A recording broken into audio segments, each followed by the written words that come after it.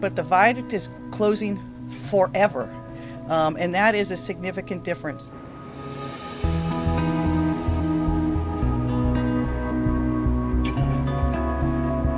In preparation for this and the run up to this, SDOT has really worked very hard to be thinking about all contingencies.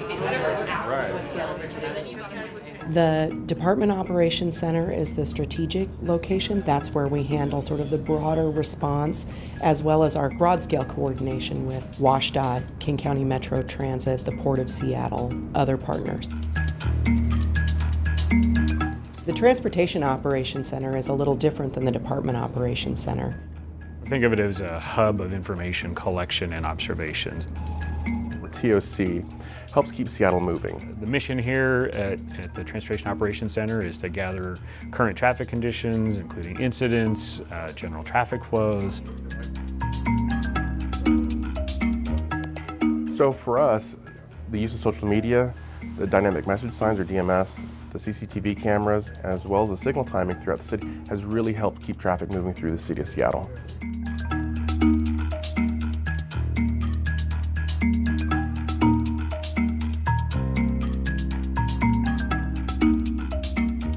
TOC currently interfaces with the DOC as part of the incident command structure. They did a bunch of big concrete pours yesterday. They've got some more coming up this week. We need to be delivering to the additional ops branch up in 3762. We are staffed up and ready to go tomorrow. What we know is if there are too many cars, the grid has a hard time absorbing it. Some people won't be able to take transit, so they have to drive to work. We understand that. The way that we're facilitating that is by paying attention to traffic signal timing patterns. If I see a backup, I check and make sure, is the system making good decisions? And if not, I can actually manually override them. We provide more green time to north-south streets because that's where the travel demand's typically going to show up uh, without the viaduct. In addition, we are implementing some parking restrictions that help facilitate both uh, buses so that buses can always be uh, that good choice and facilitate emergency vehicles. We uh, focused a lot on prioritizing transit reliability into and out of the downtown business district because that's going to move the most people. It's a lot of coordination and it's a lot of broadcasting information. We tweet uh, and you can follow us at SDOT Traffic uh, on Twitter. What we want to do is kind of give drivers real-time information so they can kind of adapt and adjust their routes accordingly. And so what we'll do typically is take a quick snapshot.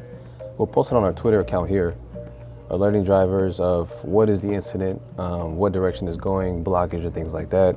We've not seen 90,000 vehicles just shift to the other streets, uh, thankfully, because that would just be a real that would be a real bottleneck. My advice to commuters during this time is do what you've been doing.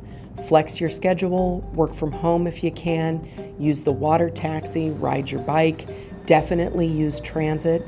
Uh, try to avoid those standard commute times. The public has been listening, and, and we uh, thank them very much for doing that. What we're looking forward to is removing that viaduct from our waterfront so that we can replace it with a beautiful waterfront promenade.